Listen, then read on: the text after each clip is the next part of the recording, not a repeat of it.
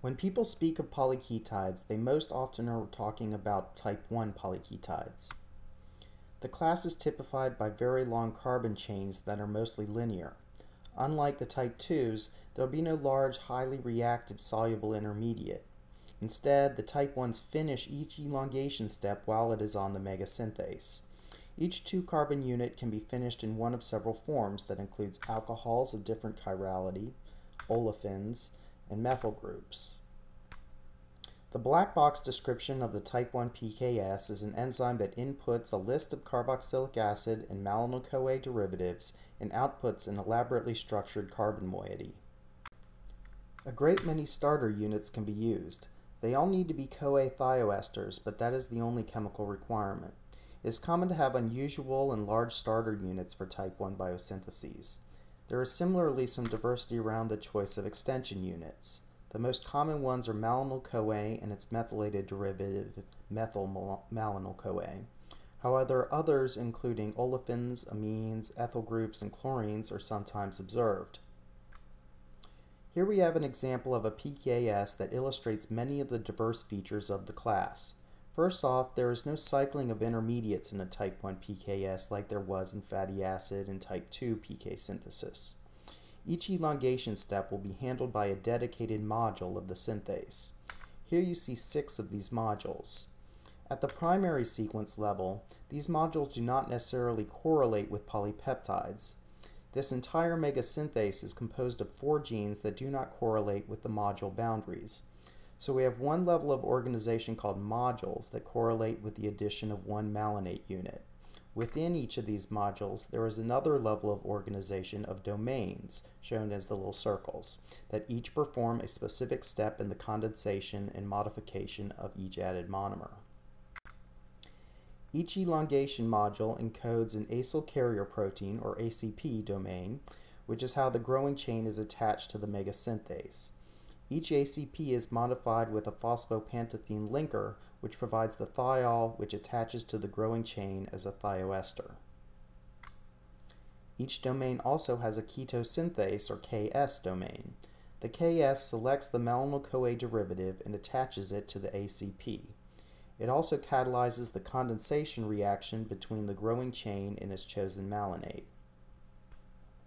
Note that we are doing the exact same chemistry we did before with fatty acid synthase, and with just a Ks and an ACP domain, we get to this alpha keto molecule. If we were to proceed with a fatty acid-like synthesis, the next step would be to reduce the ketone with NADPH. Those modules that contain a keto reductase or KR domain will perform this reduction re reaction resulting in the alcohol. Since there are two stereochemical outcomes for this reduction, the Kr is responsible for choosing which stereoisomer gets produced. The next step in fatty acid synthase was elimination of water to make the olefin. Modules with a DH or dehydratase domain will similarly eliminate water. Unlike fatty acid synthase, PKS modules can contain methyltransferase domains or MTs that will methylate newly formed alcohols. Because there needs to be an alcohol to methylate, a module with an MT would have a KR but no DH. At the N and C termini of the synthase are the loading and thioesterase domains respectively. The loading domains are responsible for choosing the first carboxylic acid that initiates the polymer. The thioesterase domains are responsible for releasing the polyketide from the synthase by breakage of the thioester linkage. Thioesterase domains solve the task of releasing the product in various ways. For example, the polyketide could be released as a free acid by hydrolysis with water, or it could be reduced off to a ketone.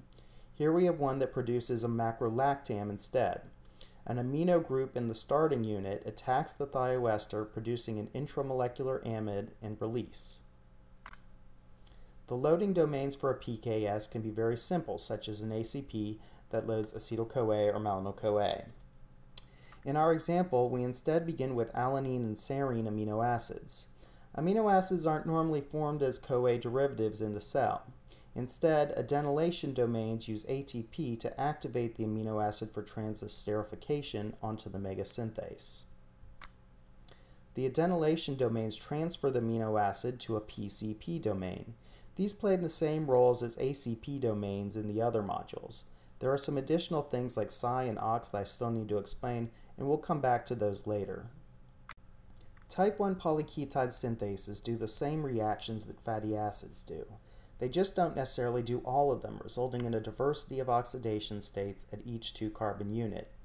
Each module of the synthase corresponds to the elongation by one 2-carbon unit from a malonyl-CoA molecule. The modules are not reused or cycled through by the substrate. There are many choices of monomers for both the initiating acid and the extending malonates. The mechanisms of termination are also diverse and can result in large rings by intramolecular transesterification reactions.